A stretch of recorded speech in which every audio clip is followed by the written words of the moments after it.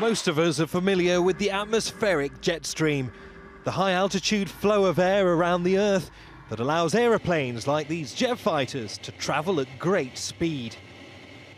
Well, imagine something similar 3,000 kilometers beneath the Earth's crust. A flowing river of liquid iron that's surging westward under Alaska and Canada at the speed of 50 kilometers a year and rising.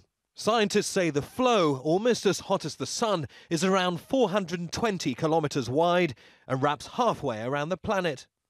Its behavior is believed to be critical for the creation of the Earth's magnetic field. So, how on earth did scientists discover it? The journey to the centre of the Earth began three years ago, but not how you'd expect.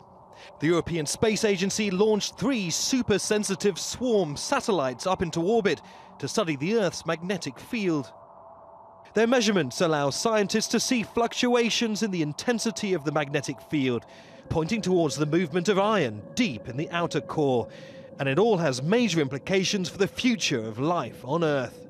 Recent data from the satellites suggests that Earth's magnetic field has been weakening over the centuries. You can't see it, but that field is vital for protecting the globe from the sun's harmful rays. Scientists also believe that we're on the verge of something called a polarity reversal that will essentially turn the laws of physics on its head, eventually making the magnetic North Pole into the South and vice versa. The changes are likely to be cataclysmic for life as we know it.